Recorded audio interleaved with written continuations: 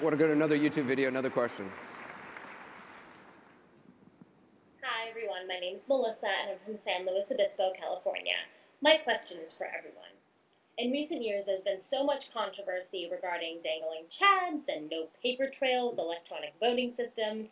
I know it costs money to amend things like that, but if I can go to any state and get the same triple grande, non-fat, no foam vanilla latte from Starbucks, why can't I go to any state and vote the same way?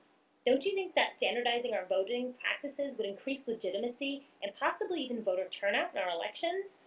What are you going to do to fix that? If you want, give me a call and I will make a standardized form for you.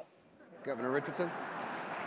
Well, I, as president, I would push the whole country to verified paper trails. There are close to 10 states that do this. My state, a year ago, my state was one of those states, along with Florida and Ohio, that because of the touch screens, there was uncertainty about the election.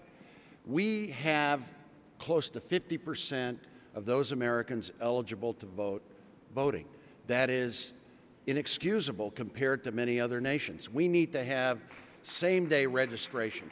We need to have a, an effort to get the Republican Party to stop suppressing minority voters.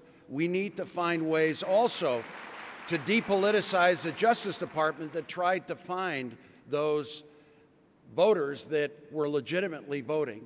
And lastly, a verifiable paper trail with optical scanners is going to improve turnout, democracy, and it's going to get a lot of young voters in the polls.